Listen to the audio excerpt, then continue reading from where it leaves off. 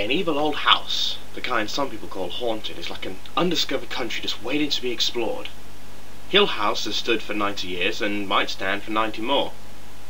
In the house, floors are firm, walls continue upright, and doors are kept sensibly shut.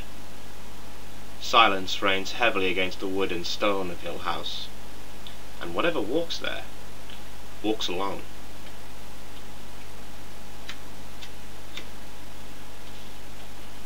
Hill House itself was built 90 odd, uh, very odd, years ago by a man named Hugh Crane as a home for his wife and daughter in the most remote part of New England he could find.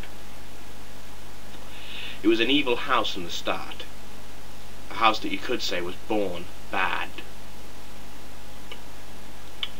Hugh Crane's young wife died seconds before she set eyes on the house, when for no apparent reason her horses bolted, crashing her carriage against a big tree.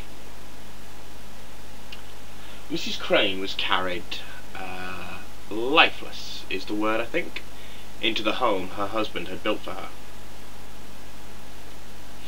Hugh Crane was left an embittered man, with a small daughter Abigail to bring up.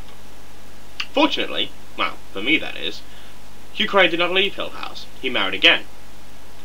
And the second Mrs. Crane's death is even more interesting than her predecessors.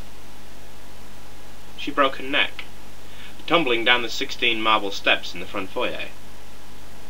I have been unable to find out how or why she fell, although I do have my suspicions.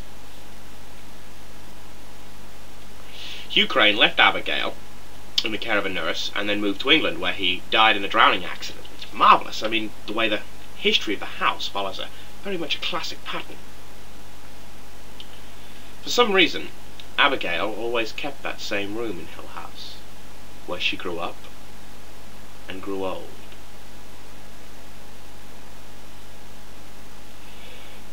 In later years she became a bedridden invalid and hired a young girl from the local village to live with her as a paid companion.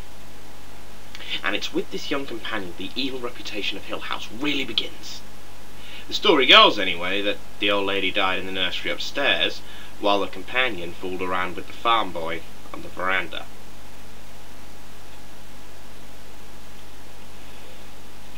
The companion inherited Hill House, and indeed occupied it for several years.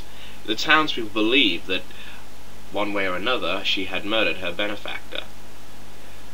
She lived a life of complete solitude in the empty house, though some say it is not empty and never has been since the night old Miss Abby died. Whatever was, and still is, in the house, eventually drove the companion mad. We do know she hanged herself.